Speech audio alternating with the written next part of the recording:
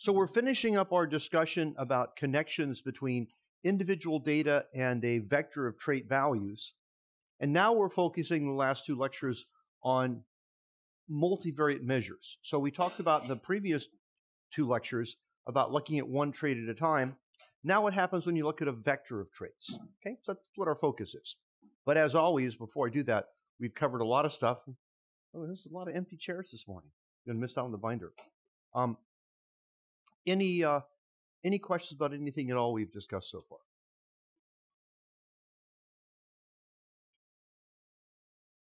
So what I'll do in, in this lecture is I'll review a fair bunch, bunch of things because remember we talked about gradients and differentials and quadratic and directional. And what we'll do is we'll take all those things we introduced for a single trait and extend them to multiple traits. So we're going to come back and review all of those. And I've got a review slide that's about 15 slides in that will take care of that. So let me just kind of remind you. So the outline here is I want to talk about the multivariate versions of differentials and gradients and, and what their interpretation are. And then I want to talk about again, I, I really quickly mentioned about a summary of strengths of selection. I want to go in a little more detail in that as well. And the key issue is that when you, well, this is something we've talked about multiple times, if you have a trait under selection, or you observe a within generation change in a trait. So I've got a selected population, I measure a trait, then I measure that trait again after an episode of selection, and I see that trait mean, for example, is changed, in my fitness weighted pool. The question becomes has it changed because that trait itself is directly under selection, or does it change because it's correlated to a trait that's under selection? Or, of course, as you might expect, is it some weighted combination of direct selection plus indirect selection? And so most methods we'll talk about will try to determine that. The problem is they all have this major constraint. And the major constraint was if I want to know the amount of selection directly acting on a trait, I need to include in my analysis all traits which are correlated with it, which themselves are under selection. And you never know that. So what you basically do is you use your intuition in your system and put in traits you think are relevant or put in traits you think may capture a lot of those um, those other traits. So for example, it might be that you're interested in a specific measure of body shape under selection. So you put in a general metric for size because size is often under selection by itself. If you put in a variable for size, maybe the first principal component, then that will basically pull off all the size related selection and you can look at the amount of selection directly acting on your trait. So the problem with these analysis when you put in multiple traits is as you change the traits you put in, you can change your interpretation. Because what you're trying to do is put in enough traits that will capture not just your trait, but other traits correlated with your trait, but might be under selection. Hmm. And we'll, we'll talk about different ways. For, for, example, path analysis is a very interesting way to, to look at these. So what we're always trying to distinguish is a direct response from a correlated response. So what I want to do now is take the notion of a directional selection differential, S. That's an observed within generation change. We also have this concept eh, of a directional selection gradient, beta. And we said how that had several geometric interpretations. The simplest is if if I do a take my individual fitness data and simply do a linear regression, that is, find the best fitting line that describes that, the slope of that best fitting line is, is given by the directional selection gradient. I don't want to take those ideas and make them multivariate. So, and again, this is all from Lande and Arnold following the work of Pearson. So we're going to define a vector V, and I've written the vector here as a row vector, but the transpose means we typically write as a column. The reason it's not written as a column is it would take up a lot of space. Right? So our, our vector uh, bold here, z, is the value of trait 1 plus the value of trait 2 plus the value of trait n. So for each individual, I would have a vector of measurements. So I might, for example, your fitness might be pollination rates, and then associated with that vector for each individual would be measurements of flower size and flower shape and flower characteristics. So that's the type of data we have, is a vector or a list of traits for every single individual. What I can then do is measure, that's a bold mu, the mean, so I get a vector which is the mean of trait 1, mean of trait 2, mean of trait n of the entire population uh, that I've sampled, and then a vector mu star, which is simply the means of those traits after selection. And recall when I say after selection, it means we take the individual fitness, and we weight the individual uh, uh, uh, that individual by their frequency after fitness.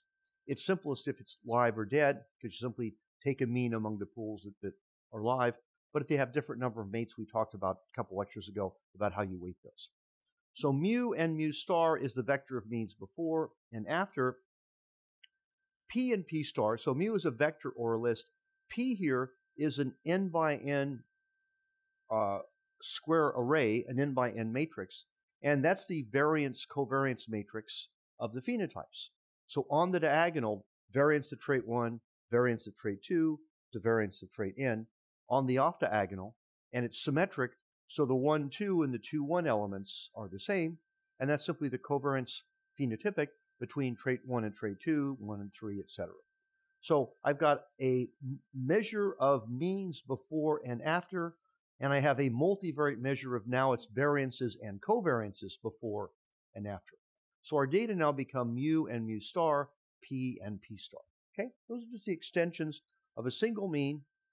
Uh, and then when we go to multiple traits, we not we don't simply follow variances, but now we have how those values are correlated, the covariances, and those come in. We have to keep track of those in a, in a variance covariance matrix. So mu and p, mean and covariance structure beforehand, mu star and p star, mean and variance covariance structure after selection.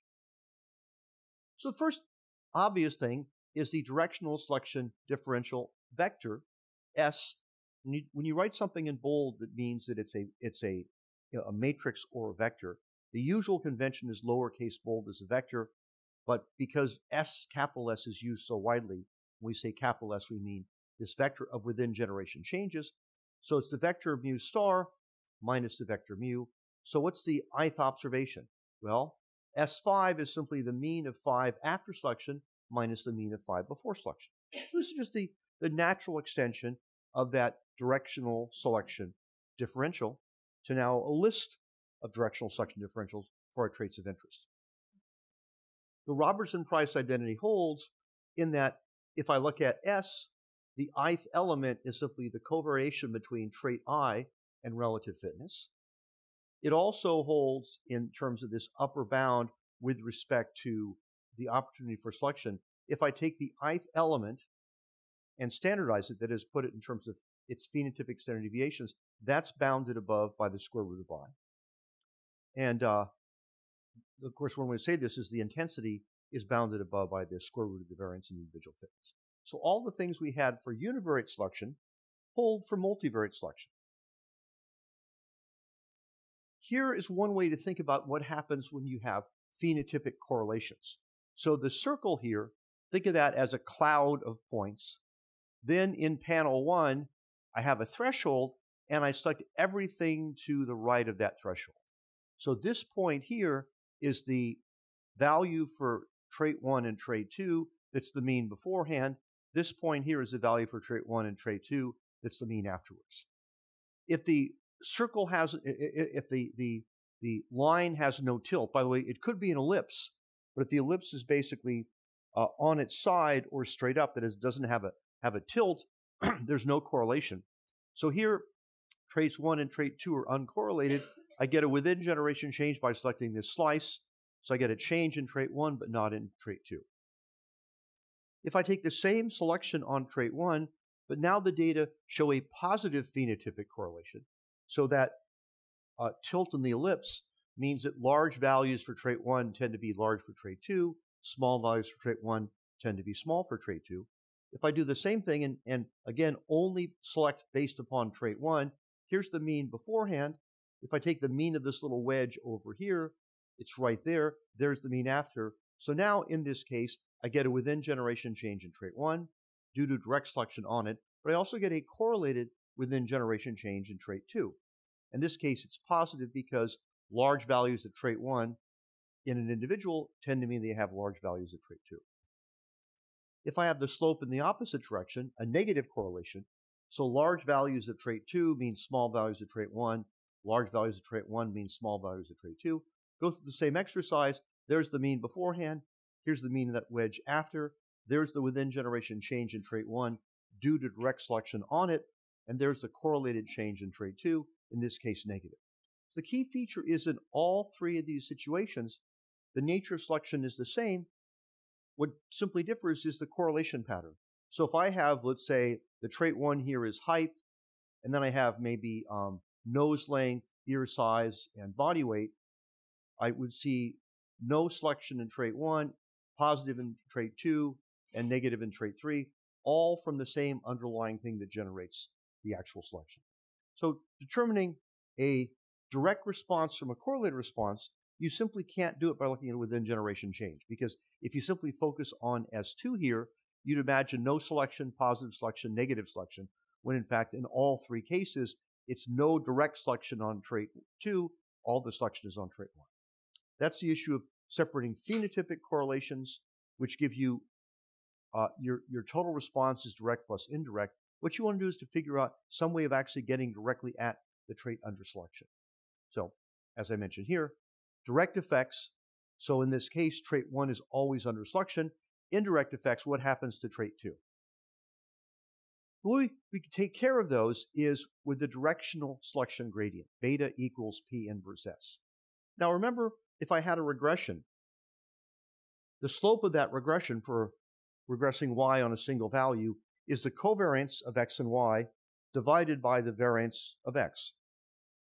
The multivariate version of that is the inverse of a variance covariance matrix times the vector of covariances. In this case, the covariance, since I'm trying to regress fitness on trait values, um, I'd take the variance covariance matrix of the trait values and then multiply that by the covariance between relative fitness and the vector of individual traits. We've seen that. That's just the Robertson Price identity, right? This vector S is simply a vector of covariances between individual trait values and relative fitness. So when you see something like this, that's simply a regression. So these are regression coefficients. So that's basically saying what I said there before. Um, and what did what regression are those? Well, it's this regression here. I'm trying to regress relative fitness as a function of individual trait values. And there's several ways you can write this. I've written it this way so the intercept goes away. And remember, if I have a regression, that regression always passes through the, the point which is the mean of y and the mean of all the x's.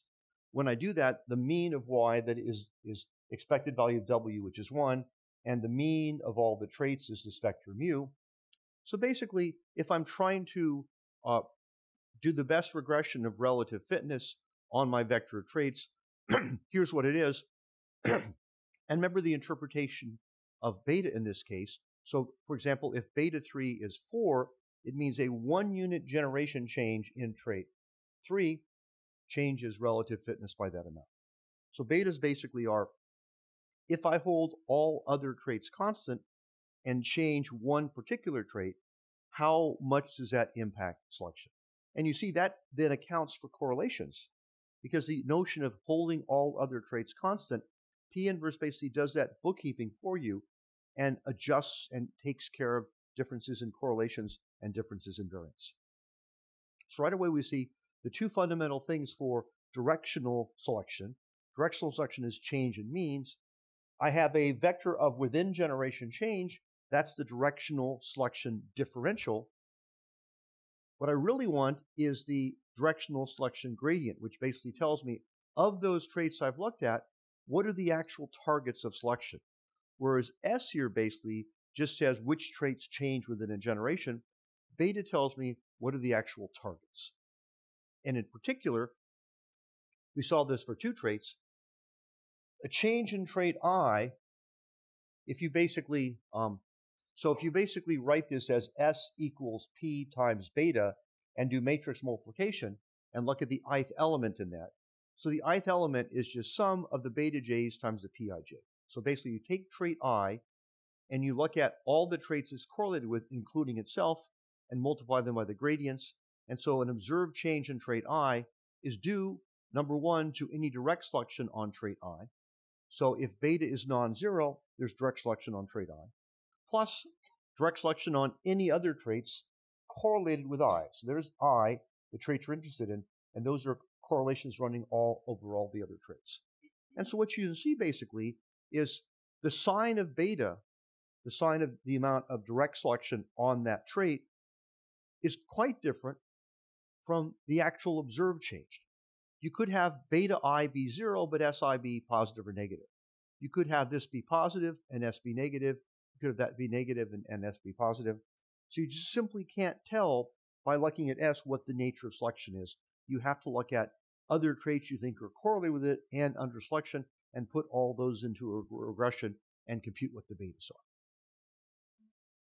So classic example of this is Steve Arnold. This is the one-spotted bug. Legend has it, and since we put it in the book, it'll become codified. So Steve was basically walking on a beach after a storm um, on Lake Michigan. He was at Chicago at the time, and he he uh, came across a situation that reminded him of Bumpus. What did Bumpus do? Well, he was walking out in an ice storm and saw all these frozen birds on the ground. So Steve was walking on the uh, shores of Lake Michigan and saw all these bugs that washed up in the waves from a storm out on the lake. And so he gathered them all. And of course, rumor has it he put them in his open adult beverage container because he's walking on the beach. And he basically, you know, those those that, that appeared to be alive and those that were dead. So it's a classic redoing of the Bumpus story. And the reason they did this was they wanted to sort of, you know, test and see what how how their method works. So basically, here are the bugs they had, and they are bugs for the entomologists in here. Um, you looked at the head character, thorax character, scutellar character, and forewingment. So four morphological measurements. And you could look at those four morphological measurements and see if they're correlated in your sample, and then look at what happens in the set that survived and the set that didn't.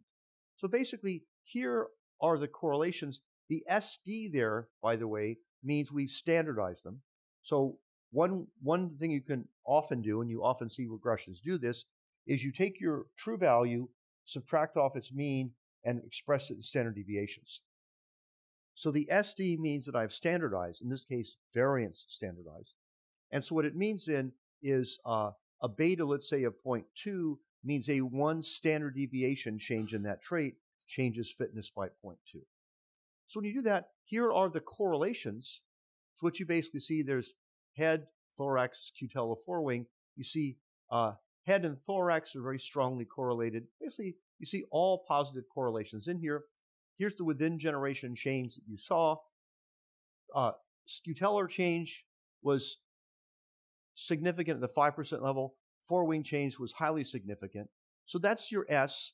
And if you assume that these are the four traits which are under selection, or any other traits under selection are correlated with these, so you capture, capture those. You then can compute what beta S is. So P inverse, take the inverse of that, multiply by S, and here's what you get. So let's compare them. So the only, there's noise, only look at the stars. So thorax length here, you see a slightly negative within generation change, but not significant. When you actually go through, what you see that's been under strong positive selection. Forewing length down here, you actually see the selection is a little bit stronger. So the main thing here is thorax. If you look at it here, you assume it's either not under selection or under very weak selection to get smaller. In reality, it was under quite strong selection to get larger. So you see that the differentials are quite misleading with respect to the values you get from the gradients. And as you see, this approach is pretty straightforward to carry out. You use your intuition to figure out which traits you think are important.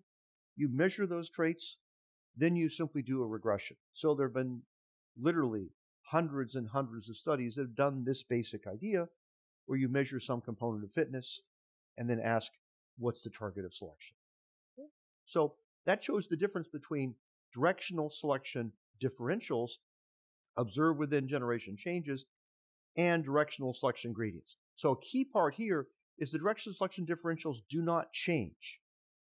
You simply measure them, that's it. However, the betas can change because as you add or subtract characters, the targets of selection, uh, the, uh, the, the, the, your inference about targets of selection may change. So if you, for example, if thorax is under no selection and you add a whole bunch of characters that are themselves not under selection uh, and not correlated with thorax, it's not going to change. But if you add the actual target of selection, then all of a sudden that beta for thorax, for example, will go to zero. So S never changes, but your inference about beta changes as you put potentially different traits in. So that's the that's a critical limitation in the method. But again, it's it's a good approach basically for trying to ask among a given set of traits if these are the traits selection is acting on. And I want to stress selection could be acting on other traits, they're just simply not correlated with your traits. So if these are the traits selection is acting on, you can then partition where the actual targets are in your source. So questions so far about S versus beta. Observed changed, inferred targets of selection. The inferred target selection depend upon what traits you put in. The observed change, of course, never changes. If I add 20 traits, the observed change doesn't change. But if I have a certain observed change and add or subtract traits, my beta may change because my inference may change. Yes.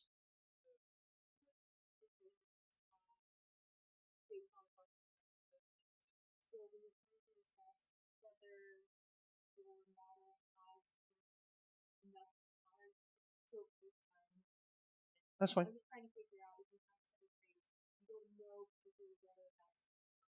Absolutely. Yeah.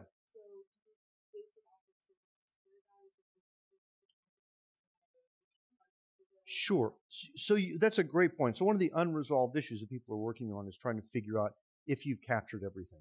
One obvious way to do it is to look at the variance in fitness and ask how much the variance in fitness is accounted for by your traits. Now that may not do the job. The reason it may not do the job is suppose all five of you are traits. I'm the actual target of selection. But if you and I are very highly correlated, you get a pretty big R squared in terms of accounting for it. So you assume, oh, I must have the proper thing in the analysis, when in fact what you have is you've picked out a surrogate variable that's highly correlated with the actual target. So that's, that's the, the, the, the issue you always have with these methods. And that's kind of where your intuition is at, about your system comes in. Your intuition may be dead wrong, but it's where your intuition about the system comes in and other things. For example, looking at pollination syndromes. You may have some idea about how pollinators work, and that will inform you about reasonable traits to include or not include. So differentials and gradients, and these are directional because I'm looking at changes in means. We'll come back and talk about changes in variances and covariances. Let's now talk a little bit about the geometry. So it wouldn't be a last day without multivariate calculus and new stuff from matrices. Right? We don't just send you away like you haven't gotten your money's worth. So recall the gradient vector. We'll use this notation. And that simply means I have a function and I take the elements of the vector are the derivative with respect to element 1, element 2, element n. So it's a gradient. And remember what a gradient basically does is it says if I'm at this point, the gradient of the function at that point is the direction you point in to have the function changed most rapidly in some small local neighborhood. And the way to think about that, remember your idea about a Taylor series. If I've got a function uh, and direction, the, the gradient vector gives me the first order term in the Taylor series about where I would locally expand largest. What you can show, and the book shows this, is if you take the gradient of log mean fitness, which is the same as 1 over mean fitness times the gradient mean fitness, that's what beta is. So if the traits here follow a multivariate normal distribution, then beta has this nice interpretation. P inverse S, beta, has this nice interpretation. It's the gradient with respect of, of the mean to log mean fitness. And what that means here is if my data are sitting here, beta tells me the direction I want to change the means of those traits to get the largest increase in mean fitness. So there's a nice evolutionary interpretation. There are other ways you can interpret beta. So here, it's remember we, we, we call this surface a fitness landscape, right? We call fitness surfaces a plot of individual fitness versus phenotype. We call the plot of mean fitness versus population, mean that is a population average. I take an individual fitness surface and then I average it over the distribution for that population. We call this surface here a landscape. So beta is the gradient of the fitness landscape with respect to the mean when the trait values are multivariate normal. Another interpretation is, again, um, if the trait values are multivariate normal, beta is the expected gradient vector of the individual fitness surface. So if I take the individual fitness surface and compute an average value for that, that also equals beta. So in beta's multivariate normal, it each equals the average of the individual fitness surface. I'll have a summary slide giving all this stuff again, and the gradient with respect to uh, the, the, the landscape surface. And you can that basically shows where that comes from. So basically, we have these. Let me jump to the summary slide here, and we'll come back. So here's what we've talked about so far. If I look at changes in means, directional selection, differentials measure the covariance between relative fitness and trait value. The opportunity of selection bounds what S can be for any value, any distribution of Z. Differentials confound direct and indirect effects. So if I actually look at what the value for SI is, it's this direct selection on our trait plus any indirect selection on any correlated traits. So here properties of differentials. Gradients measure the amount of direct selection, P inverse S for the mean. Uh, the interpretation, if if uh, the data, if, if the traits are multivariate normal, then the ith term in beta is simply the partial of the fitness landscape, that is how population fitness changes as of respect to changes in trait I. Again, if I've got multivariate normality, then beta i then is simply the average of the individual fitness surface. So it's a gradient with respect to the fitness landscape. If I change the mean in trait i, how much does mean population change? That requires the traits are normally distributed. Likewise, if traits are normally distributed, beta is also the average. So beta i is the average slope over all the individuals in my sample for that fitness surface. And then we'll come back to these interpretations a bit later. So that basically shows some of the features we wanted to talk about in terms of differentials and gradients, change in mean, so they're directional, and differential is what you observe, gradient is what you infer by, by putting what you think is the appropriate amount of characters in. And the nice thing about beta, it has nice interpretations in terms of geometry. And we'll talk about one more in terms of individual fitness surfaces a bit later on.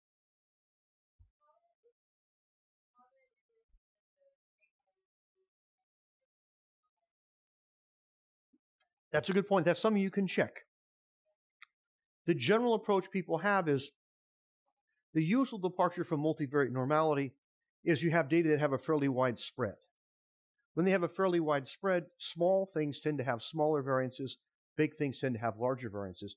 So very commonly people take the log of data, and that tends to make things a little bit closer.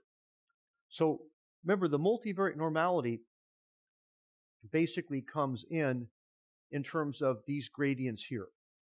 If you don't have multivariate normality, that's that Janzen-Stern gradient I talked about and the Morrissey gradient. Where you can basically compute these numerically, and we'll talk about that as well. So these are what beta amounts to if your data are multivariately distributed.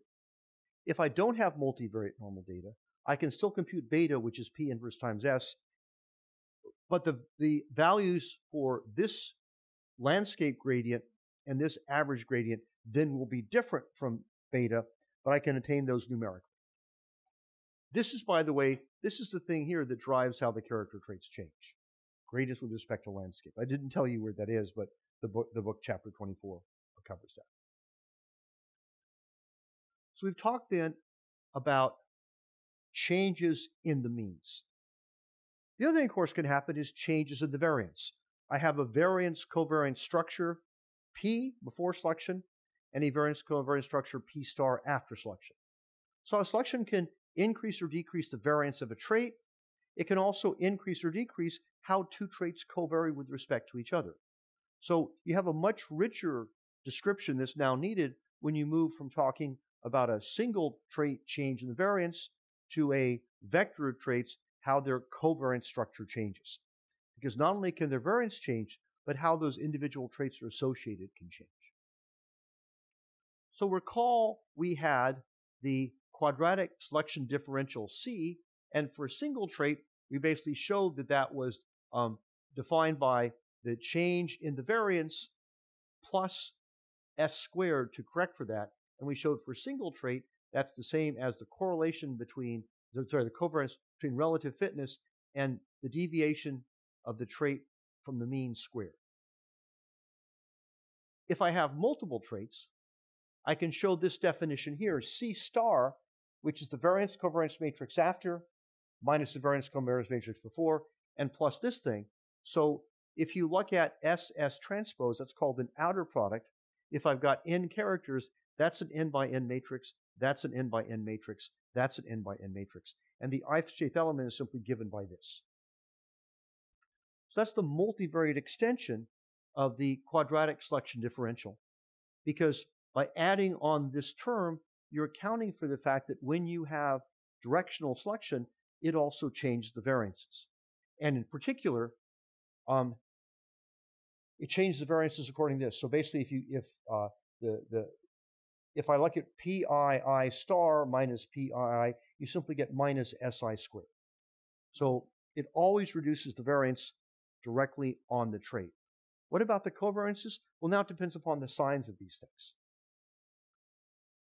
So this expression here, which is the multivariate version of variance after minus variance before plus s squared, also equals what we expect, and it equals this thing here. The matrix here basically is the ith jth element is the covariance between relative fitness and trait i from its mean and trait j from its mean. So if i and j are the same thing, that's square deviation from mean, that's a covariance. If i and j are different, the deviation of one from its mean and the other from its mean, that's the definition of, of a covariance. So this is the multivariate extension of our quadratic selection differential. Again, it's a within generation change, and again, it confounds direct selection on the covariance and variance with indirect selection from other traits. And you can go through the same argument before and basically then show you can then put a bound on how much the ith element of that changes with respect to the phenotypes, and you can then express that in terms of the opportunity for selection. So just like we could bound the change in variance for a single trait from the opportunity for selection, we can also bound the change in variance for not just a single trait, but for multiple traits, we can bound the changes in variances and covariances. Again, the critical point there is that you can bound it not what the value is. You look up the value. So just like we had a gradient to match the differential, that is, the differential is what you observe, the gradient is what you infer from the, the traits in your thing. We can also have a quadratic selection gradient gamma. In this case now, it's a matrix. So the interpretation of that is if I fit a quadratic regression, and here's that best quadratic regression, if I go ahead and, and fit that, the terms here on these quadratic products are elements in this quadratic selection gradient. And I simply get that by P inverse, that's C times P inverse. And that's the multivariate version we had before of C divided by uh, this, the, the variance squared. This is the multivariate version. So the ith jth element in here basically gives you the coefficient on here. So what does that mean? Suppose that that gamma ii, so for trait i, suppose that's positive. Well, I've got positive times this squared. And what that means then, as this deviation gets further and further from the mean, that's positive fitness increases. So a positive value of gamma ii means I've got a convex fitness surface. As I move away from the means, fitness increase. That could be disruptive selection, but more generally, simply means the fitness surface has a positive curvature. A negative value of gamma ii means as I get further and further away from the mean, my fitness goes down. That means I've got a concave fitness surface. And so as I move away from the optimal value, or, or, fitness goes down, or more generally, the surface is just curved downward. So if I move out from it, fitness goes down. What about for traits I and trait J? Well, if that's positive, it means you're selecting for positive correlations between trait I and trait J. If it's negative, negative correlations. If it's zero, fitness doesn't change on that. So the regression basically gives you a way to think about what these coefficients means. For the diagonal coefficients, positive values means, um, I'll call it in air quotes, disruptive selection. The fitness surface in that direction is curving upward. Negative values of gamma means the fitness surface in that direction is curving downward. And values here basically tell you about correlations between. We're going to come back in the second lecture and talk a lot about what the geometry of that is. So we're going to come back and, and come back to this, this form. So just like directional selection gradients are in a regression, and if they if this data is multivariate normal, this term here would be the beta beta j's. If it's not multivariate normal, this is still correct, but this could be something different. So we have a quadratic selection gradient. In this case, it's a matrix of values, and that's the multivariate extension of the quadratic selection gradient we had for a single value. And let me again go back to our table here to put it together, remind what we, have before. So we talked about uh, uh, changes in means. Here are the corresponding expression for changes in variances. So the differential ij measures the covariance between fitness and i from its mean and j from its mean. The opportunity for selection bounds the possible change in the differential. The gradient basically is a function that involves, um, so basically what we, you can show here is what is the uh, change in the combination i and j. If gamma is the direct target, what you see is it's this complicated structure here. So what this basically says is if trait i, sorry, if trait k is correlated with trait i and trait L is correlated with trait j, if there's any selection on that combination, that will contribute here. So just like we saw that a, uh, a directional selection differential is a composite of direct and indirect effects. The same is true even more so for quadratic selection differential. The gradients are defined here, P inverse S for linear, P inverse C, P inverse for quadratic, and we'll come back and talk about some of the geometry in a second. So this table basically here shows you linear terms, quadratic terms, and the connections between them. This is kind of the canonical table that kind of goes over all the various things we've talked about and sort of makes the connection. Because there's a lot of parts flying around, and this kind of shows you how they're similar and how they're connected and how they're put together. So let's go back and ask just a couple of more things on here. Again, this is a regression. The SD means you standardize, and by standardize, you simply basic you basically um, take the z values, subtract them from the mean, and multiply by the inverse of variance covariance matrix. That basically removes any correlation. Uh, sorry, that that that, um, that uh, gives them all unit variance. So you basically can adjust these to subtract off the mean and divide each one by this by each value by the square root of its variance, and that then gives you standardized values which have uh, mean zero and variance one, and it just makes the regression a little bit simpler. So let's look at an example. And the example comes from work that Butch Brodie did where he was looking at garter snakes and looking at two characters number of reversals. When they move around, do they change direction? And body stripes. And he was asking if these anti predator morphology and behavior, anti predator because the stripes blend you in, the reversals mess up something that's tracking you, do those, um, what's the fitness surface on those? So you go ahead and fit, this. here's the, the, the, gardener snake. When you fit the fitness surface, here's what it looks like. That's a topography top down. That's a peak, that's a peak, that's a valley, that's a valley. It's this saddle point. And what you'll notice is that there's no, as a saddle point, there's no, there's no peak in it, right? You've got fitness going up here and down there. So what this basically says is that what you favor is a low stripe index with lots of reversals or a high stripe index and very little reversals. And so almost all the selection here is not on reversal rate or amount of stripes, but rather it's on the correlation between those. So your best strategy is to either do lots of reversals and have little stripes, or have lots of stripes and do little reversals. And you can kind of argue about that. Stripes make you a bit easier to see if you change direction, so you don't want that. If you don't change direction, stripes make you a little bit harder to see. So the, the, the sort of behavioral ecology suggests what you see from the fitness surface is you have a couple different areas. So this is where you basically infer that by simply fitting it, and this basically is the structure of that surface that's given by that gamma matrix. And we'll talk about how you get these structures um, this afternoon, uh, the next lecture. The other, uh, which seems like a trivial comp, is actually rather important.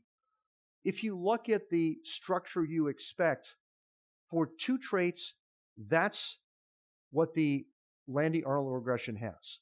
So it's gamma 1, 1 over 2 times trait 1, gamma 2, 2 over 2 times trait 2, and then gamma 1, 2 times this. If I simply call out a quadratic regression, that quadratic regression returns B11 on Z1, B22 on Z2, and B12 on that. A fair number of studies, in fact, um, uh, 80% of the 33 studies that were examined in this meta-analysis, they forgot to correct for that. So if you get this regression, that's not gamma 1, 1. That's gamma 1, 1 over 2. You've got to multiply that value by 2 to get the correct gamma value. So a lot of the, the gamma values were underreported because people simply made this very simple uh, mistake about would you get the regression out, realizing that what Lande-Arnold asks for is this term here is gamma ii over 2, and people just take bii as, as gamma. So when you just use these, you've got to multiply that by 2, multiply that by 2, and these exactly match. So a minor detail, but a minor detail that influenced a number of papers.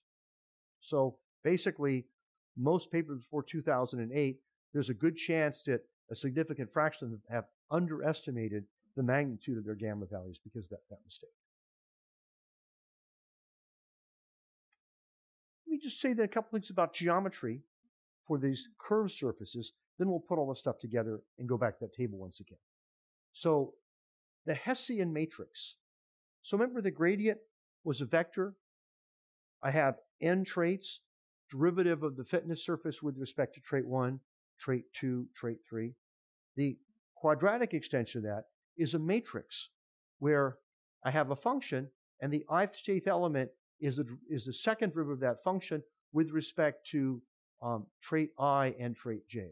So on the diagonal, it's second derivatives with respect to trait i. On the off diagonal, it's the second partial with respect to i and j. And we assume that mixed partials are equal, which is a continuity condition, not a big deal. So this matrix then is symmetric. And that's called the Hessian matrix. So if you have multivariate normality, what you can show then is this matrix gamma is the expected average value of this matrix over all the individuals in your sample. The other thing you can show from a geometric standpoint is remember this is individual fitness, so the average of individual fitness. This is a landscape. That's mean fitness. You can show the Hessian with respect to mean fitness also gives you gamma, but now with this correction that basically adjusts for directional selection. So under multivariate normality, this matrix gamma, that's the average of the individual slopes, or you can relate it to the, the, uh, the curvature of the fitness landscape. So just like beta had geometric measures, gamma also has those geometric measures. So here you go. Here are those geometric measures. So beta i is simply the uh, the uh, partial of the the, I, the the the fitness landscape. So basically, how relative fitness changes as I change trait i. Gamma ii is the curvature of that relative fitness landscape plus a correction. That's if traits are multivariate normal. Likewise, if traits are multivariate normal, the, the gamma ij term here is simply the average curvature in that direction, just like we have an average slope over here. And then for fitness regressions, if I have multivariate, so in general, this is correct. So for a linear regression, the slope term corresponds to beta. For a quadratic regression, the quadratic term corresponds to gamma. This here doesn't necessarily correspond to beta unless the data are multivariate normal. If the data are multivariate normal, then this term, the linear term in a quadratic regression, corresponds to the linear term in the linear regression. And the reason they often depart is that characters so so skew. Um, uh, when you fit in here, this takes care of a bit of skew and, and adjusts that, and the book talks about that. Finally, the reason that the beta and the gamma are so important is they're the coefficients you need to describe how characters change. So the change in mean is given by G beta, where G is a variance covariance matrix of your breeding values. The, the, the change in G within a generation, G star, is again is now given by gamma and beta. So gamma and beta, not S and C, are the quantities that you use to basically figure out how traits are going to change over time, what their mean vector is going to change, and what their variance covariance structure is going to change. So these are the two kind of slides here. There's a bunch of stuff going on. And so the thing to look at are these slides because they show the connection between uh, directional and quadratic, and they show how the features are, are, very similar.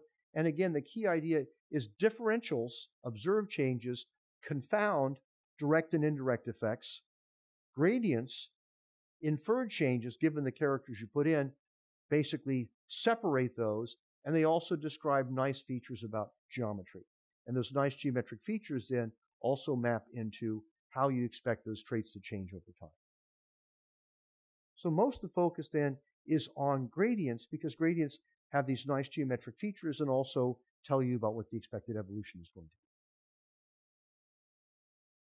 So questions?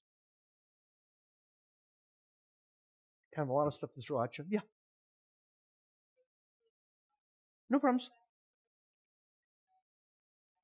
Sure.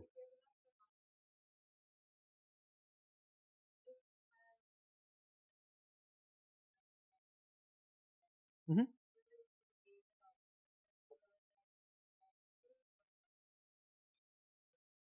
So what's the what's the basics what's the basic rule when there's some uncertainty about how to proceed?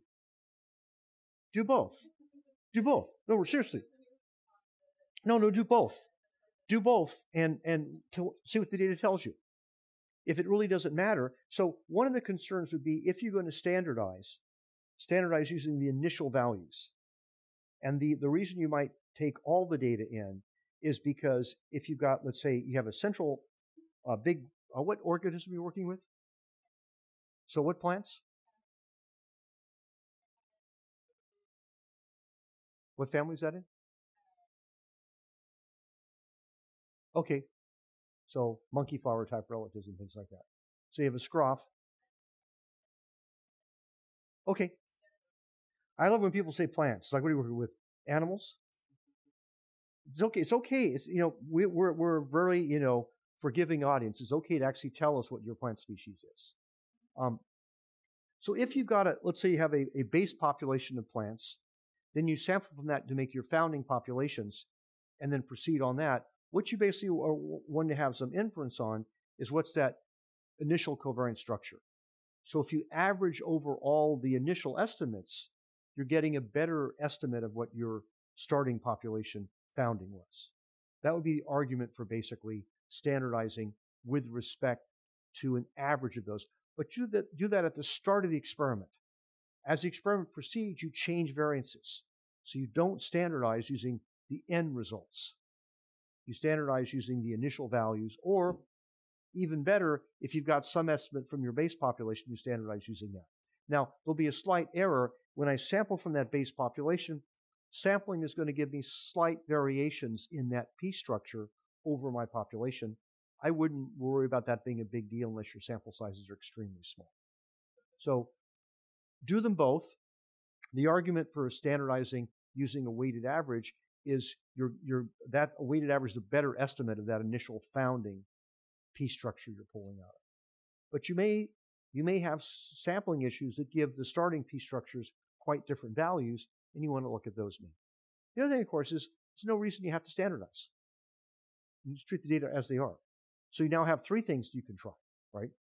And three things to try doesn't mean, oh, which one should I use? It means do them all and see what the data tells you. If data says there's really no difference between the methods, then you're fine.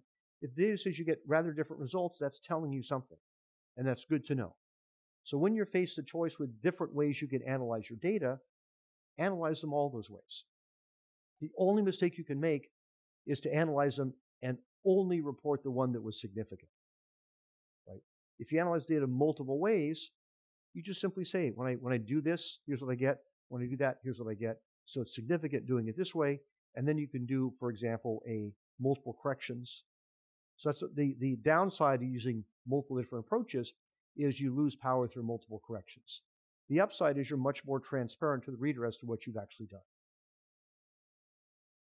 Yes. Sure.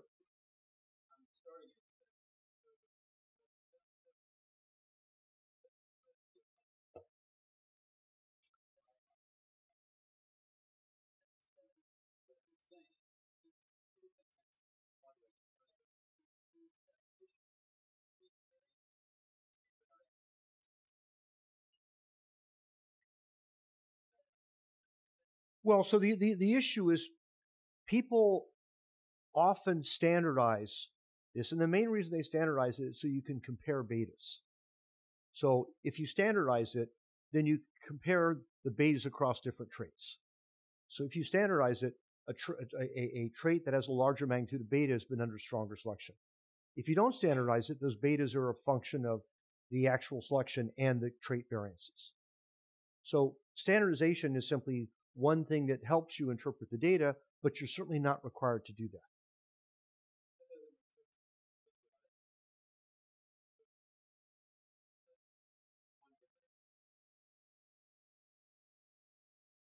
So the idea, so let's, so let's go back and, and ask what's going on here. So what happens is you have a population which has a certain covariance structure. Then you have an episode of selection and you want to compute a gradient. So in that case, you want to standardize the population at before the selection occurs and then ask what the change is. And in the chapter, we talk about some papers by Wade and Kalisz, which basically talk about if you have multiple episodes of selection, so your your uh, variance covariance structure is changing. We talk about how you standardize those. And it sounds like what the reason I'm a little concerned is it sounds like you want to standardize every generation. Just keep on updating it. So generation one, generation two, update it. Generation one, generation three. And the way to do it basically is always have your reference be generation zero. So one was zero, two was zero, three was zero, four was zero. I think that's a better way to look at it. But again, the bottom line is don't get too hung up on should I standardize or not. Ask what question are you asking? Right. Okay, so there you go. So standardization simply makes it easier to compare things. So suppose you have two traits. Let's say you've got uh, wing length and tarsus length. And if you standardize, the trait with a larger beta is the one that's experiencing more selection. If you don't standardize, you could have a larger beta in wing length, not because the actual amount of selection is stronger, but because wing length has a higher variance. So the standardization simply is a way to help you interpret the regression coefficients, but it's not at all required.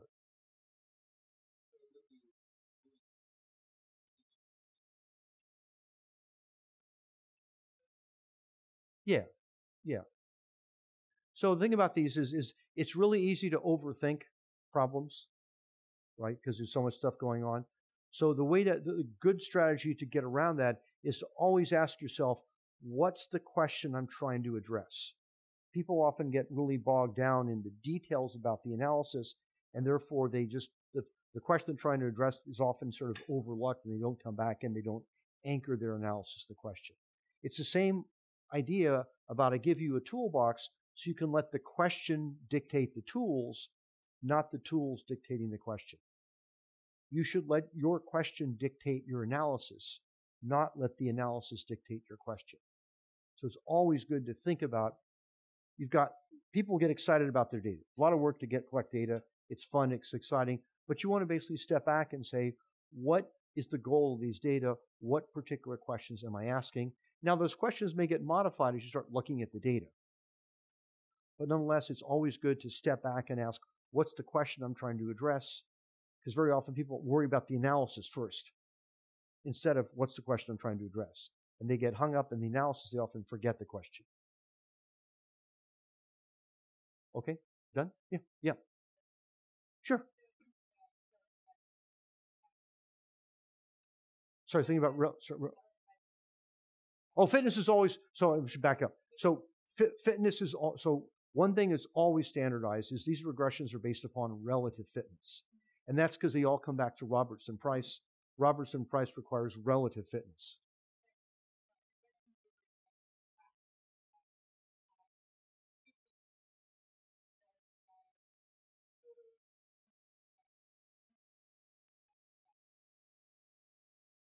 So in each treatment, you so basically what you're asking is what's the relative treatment in your particular experiment. So if I have two independent experiments, fitness values over here have no bearing over here. What you're simply asking is, so what is relative fitness? It simply says, um, I standardize my population of interest so a random individual has fitness one. So if a random individual on average has 4.5 offspring, you divide all the offspring numbers by 4.5. If this population over here has three offspring, and this is four offspring, you divide these by four, these by three, you don't divide them both by the average of those two. So relative fitness basically says, in my population of interest, what's the what's the average fitness of a random individual? It should be one. So you take their average fitness by your measure and, and correct for it.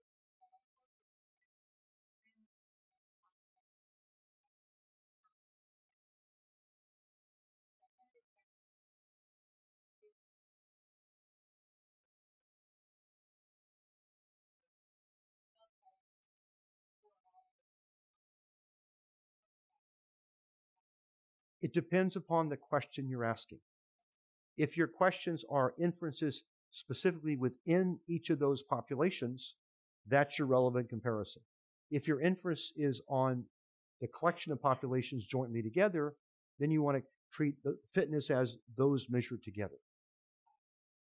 So different different different traits may give you different fitnesses, right? But you don't worry about what traits are in there. You simply average, you just simply standardize fitnesses independent of the traits. So if you, the reason I'm being a bit careful is that you're giving me a sentence about what your design is, and it could be much more involved. So I'm, at, I'm trying to basically give you the logic you would go through. And so if you have two different groups, and the other thing you can do, of course, is you can simply report relative fitnesses within the two groups. The concern would be if you're asking questions separately, you treat those as separate. You're trying to make some pooled thing, like this trait is more important. Well, is that trait more important when you hand pollinate it and consider just that? Or when you open pollinate and consider that? Or when you've got a mixture? Those are three different questions.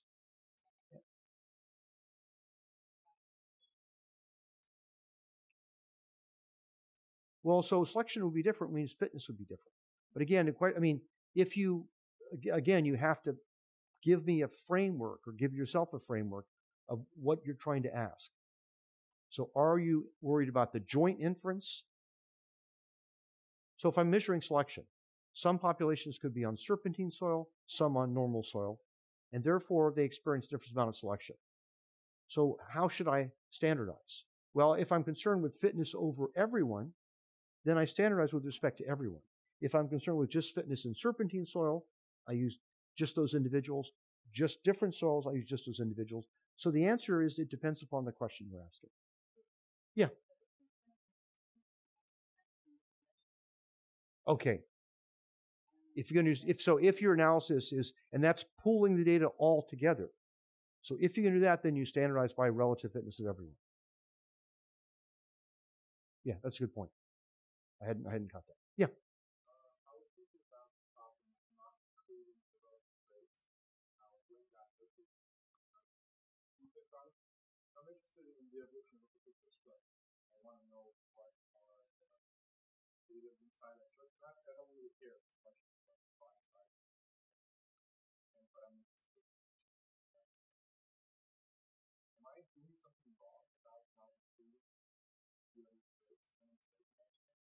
Yes. And give you an example why. Suppose that you have an, uh, a, a non-isometric relationship among your traits so as, as body size changes, the relative shapes change, simply as a function of body size. You would then, if you didn't know that, look at these two rather different structures and measure all sorts of things, make all sorts of inference, and when in fact suppose selection is entirely on body size. Your analysis would miss that. And you'd have some incorrect inference based by focusing on these structures, which change as you change body size. In, in this hypothetical example, uh, not necessarily. Well, we'll talk about how you include latent factors in a second. But again, in this hypothetical example about having two different structures, if the parts of those structures grow at different rates as body size changes, those structures will change over body size. That if fitness is on body size, that will then create correlations between changes in those structure and changes in fitness.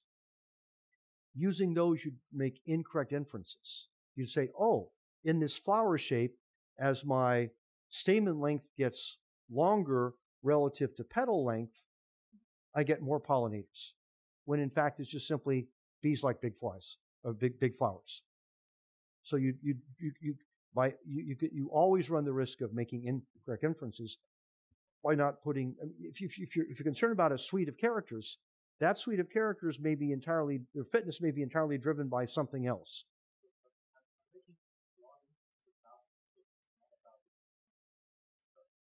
Well, but you are making wrong about the the evolution of the structure because you want to, uh, you're, you're, if you want to ask how that structure changes, you want to use the correct betas.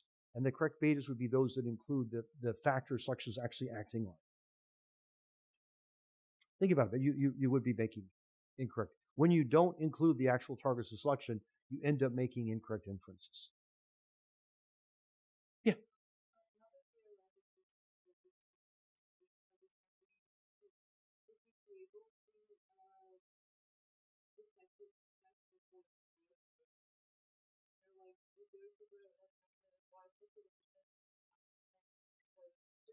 Sure. Yeah.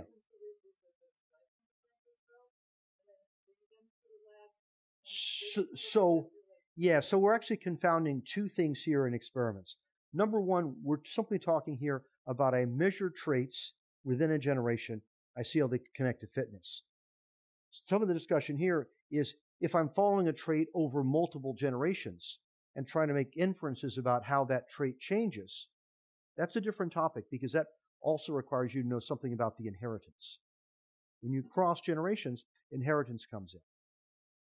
And so chapters 18, 19, and 20 basically talk about how you analyze selection experiments, where you're looking at traits over multiple generations. Where the concern there is simply how do the trait values change? Our focus here is what's the targets of selection. If you look at evolution, that is cross generation changes, it's targets of selection plus details about inheritance. So the analysis of selection experiments is a slightly separate issue from asking what traits are direct targets of selection, because we're entirely concerned here on within generation changes. Selection experiments typically worry about how does a trait change over time. Those are cross generation changes. That's a function of both the nature of selection and also the genetic variation. If I have two traits, trait one is under really, really strong selection, trait two is under weak selection. Trait one has no heritability, trait one won't evolve. Its mean will change by drift, but it won't evolve, even though there's lots of selection. So when you cross generation, not only does selection matter, but the inheritance matters. So we, we, we, we're confounding.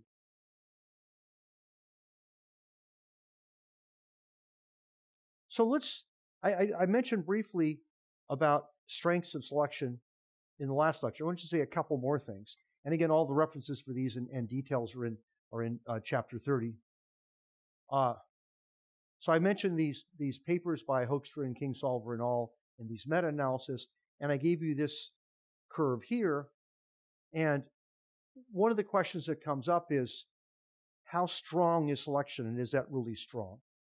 The other thing that comes up is, are, are there other questions we can ask about trade-offs? So one thing is, when you look at this curve here, notice it says absolute value of beta. That turns out when you use absolute value, and you show the absolute value here is uh, has a median value of 0.16, that's an overestimate of the true values. Why is it an overestimate?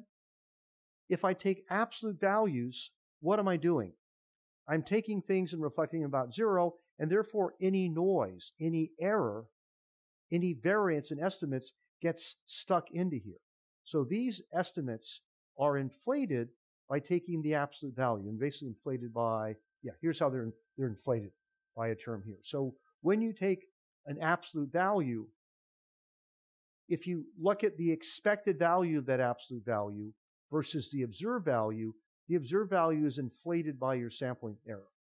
Because you're not taking a mean, you're basically taking a square. Absolute value taking a square and taking a square root. That's how, how it basically works. So these, these are actually overestimates. So the observed value here, so I'm going to put it another way. If I take the expected value of x, that's different from the expected value of a sample of x. So if I, if I take the expected value of this thing, that isn't equal to, uh, it's equal to the, this expected value plus an error. And so these things here get inflated by this sampling error. And Morrissey talks about this and they talk about it in the chapters. So when you make that correction, and he basically uh, uh, suggested that, that uh, you're probably inflating it by about 50%. So instead of being about 0.16, the actual true value is probably maybe half of that, 0.08. So these strengths of selections are overestimated by using absolute value because you're not accounting for sampling noise, and that inflates the absolute value. Yeah, question.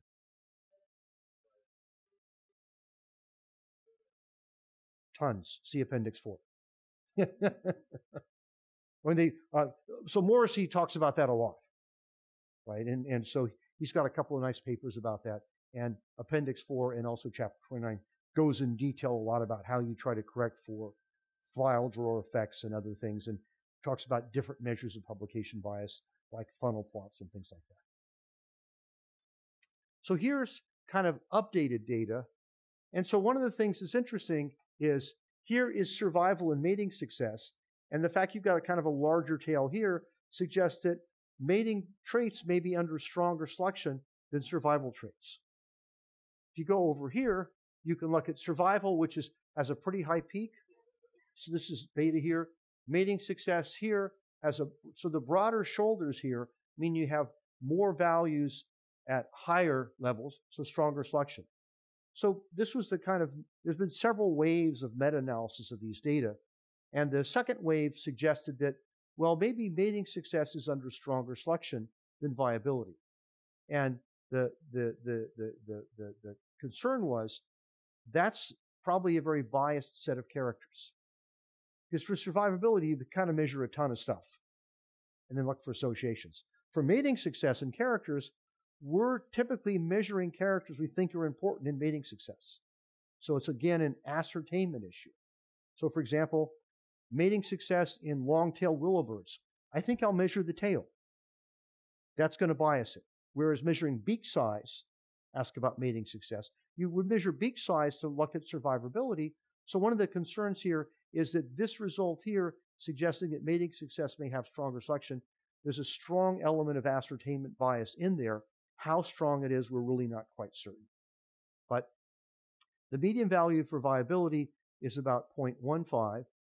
It's about 0.25 for mating success. So what does that mean? It means here a one standard deviation change in the trait has an average effect on viability of reducing it by about 15%, whereas a one standard deviation for the traits measured mating success has an effect of changing absolute fitness by about 0.25.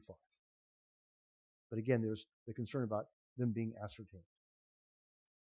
You look at quadratic selection gradients. Again, these are probably underestimates because most of the early studies simply looked at the quadratic, quadratic regression coefficients that the computers spit out. So the quadratic correction coefficient on trait 1 was 0.4.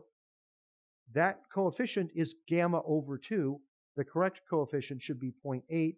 A lot of the early studies, over half of them, didn't do that. So there's probably more values out here and here. It still doesn't issue, uh, get at the problem, though, of how come this is symmetric. If stabilizing selection is important, we'd expect more values to be in over here.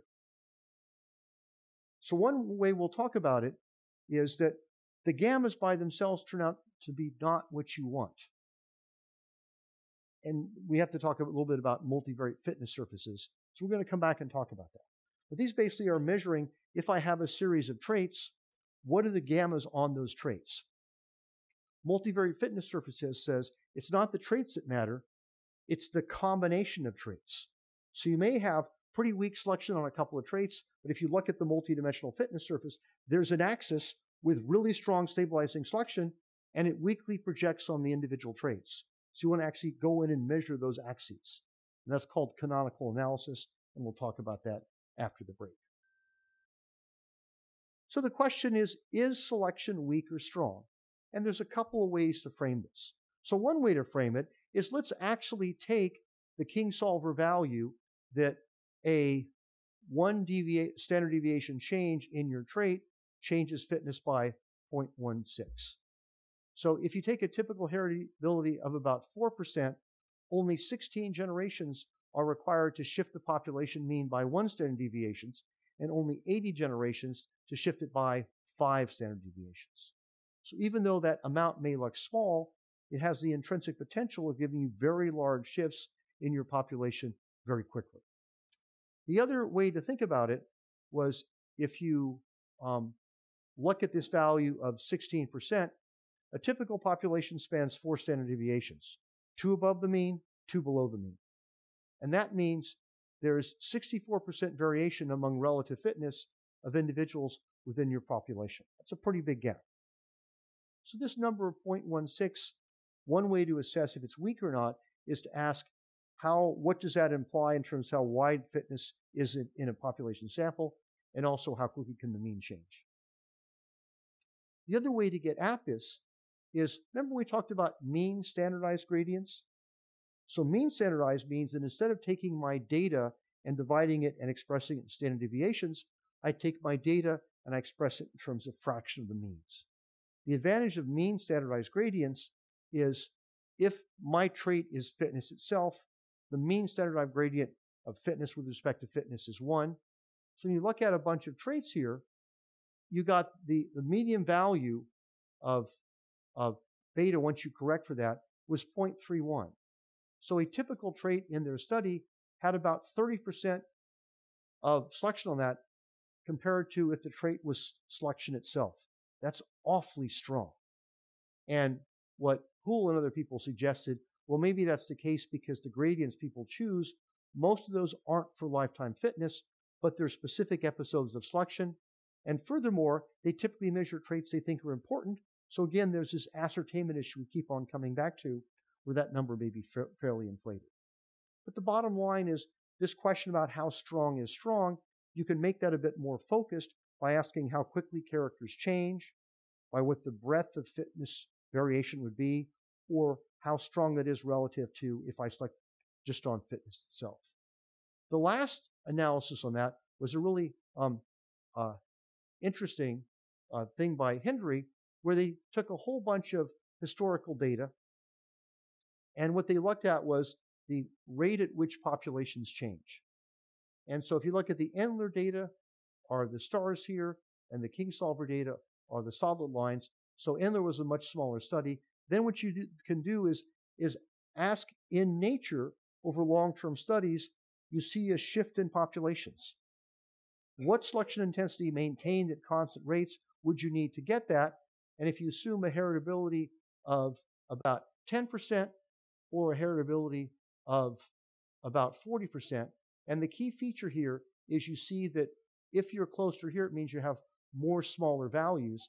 And so the, the take home from this is the values reported by Kingsolver and Endler are much larger than the values, if those values were constant, that you'd see traits change at in nature over long-term studies. And their argument was, well, maybe these large values are because you get episodes, episodes of selection you get a big burst of change, and then the environment changes. Whereas these uh, curves here are sort of looking at what's the continual average rate of evolution when you look over fairly long time spans. So it's another way to think about how bias is set may or may not be. And again, the chapter goes in details on that. There's just two other things I want to talk about really quickly. So one of the big concerns is are there fitness trade offs? We saw that in the mimulus example, where large plants with the ability to make large flowers leave more offspring if they survive, but they have a much lower rate of surviving. That's an example of a trade off. the concern has always been, and almost the unstated assumption, that trade offs are pretty common. So you can actually now use the data to look at that.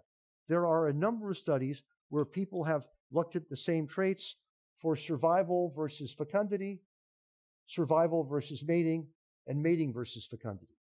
So if trade offs are important, you'd expect lots of values in this quadrant, which is positive for one, negative for the second, or down here, positive for one, negative for the second. Values here mean they're reinforcing. It means the trait works in the same direction for those two fitness traits. What you basically see is just kind of random. If anything, there's slightly more in along this axis. So if trade-offs were important, most of the points would be in this quadrant and that quadrant, because you're good in one, you're bad in the other. Here is good in, in both or bad in both. And if anything, it seems there's slightly more data in here. But the bottom line is there's no obvious excess numbers showing trade offs.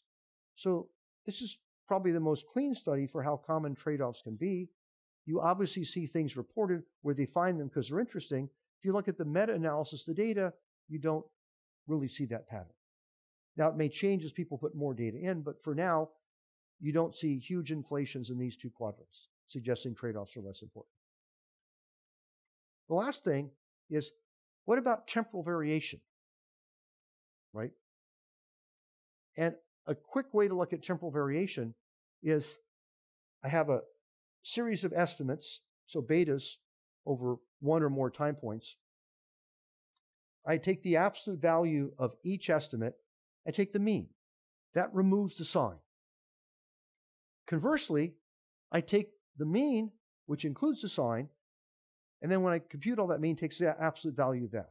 So if there's lots of fluctuations, I'm going to be below this line. Why?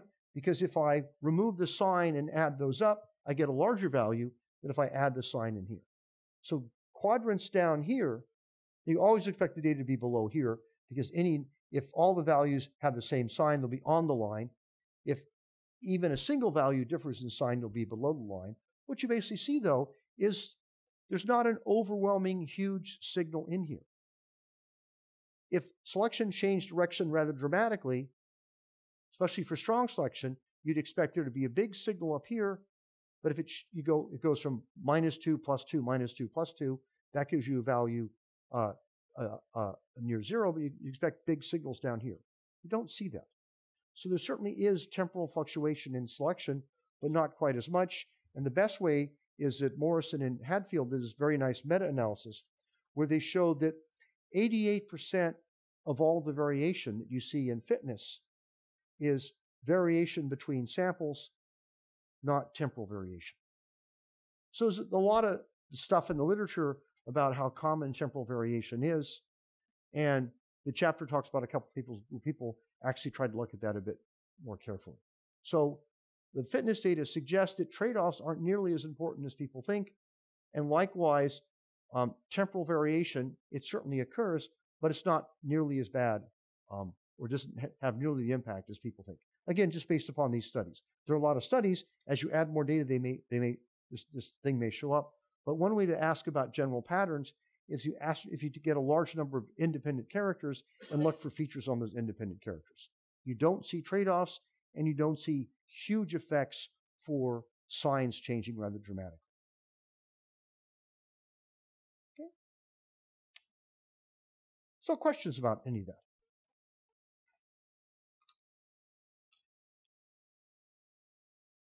Yes.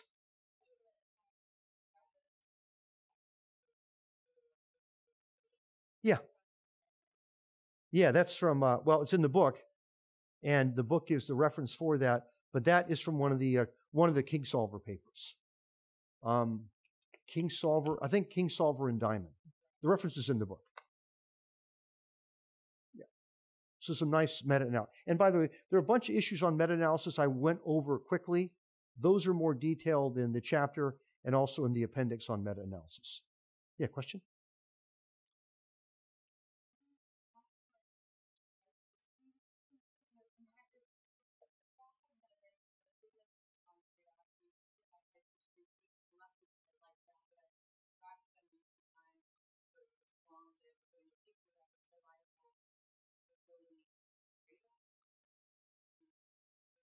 Yeah, so what this slide is simply so so what this is simply saying is, okay, I've got a bunch of traits, and I take those traits where I've measured two different fitness components. Do I see a trade-off? And you don't. That's Okay, limited to time, right? I'm assuming SURV is survival. Yeah. As I said, mating, mating, mating.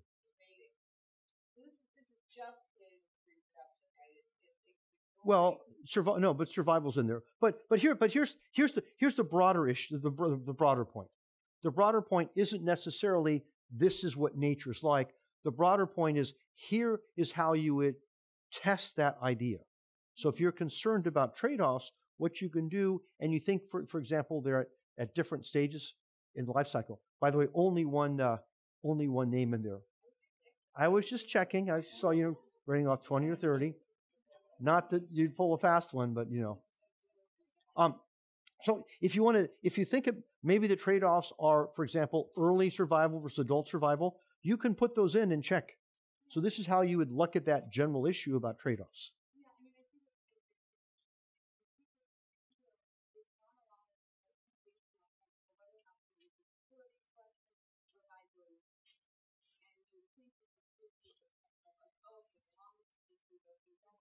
Sure.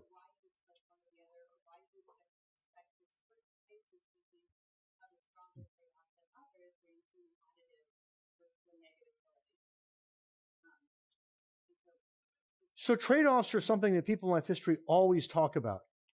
And the bottom line is, to let the data actually tell you what's out there. Because the other thing is, have you seen what are called Y models?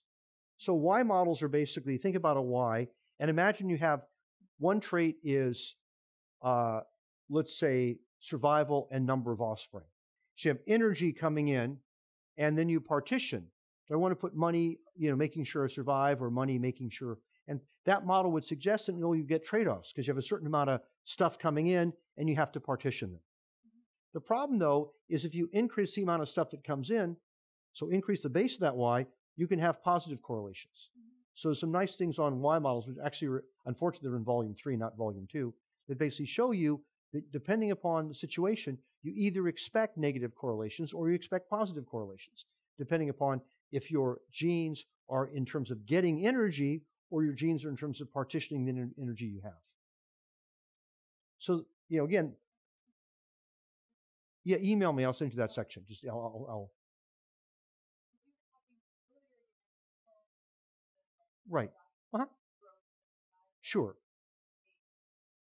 Yeah, so so a lot of things I chat about. The nice thing about the book is that I try to reference it pretty extensively, and so you can actually look at those. Now that's an entry into broader questions in there. So Crohn's a good review. There's also uh, a couple of reviews based upon plant morpho, plant physiological features. So there's a lot of lot of lot of. I gave you kind of the quick comic book version. There's a lot of detail in there.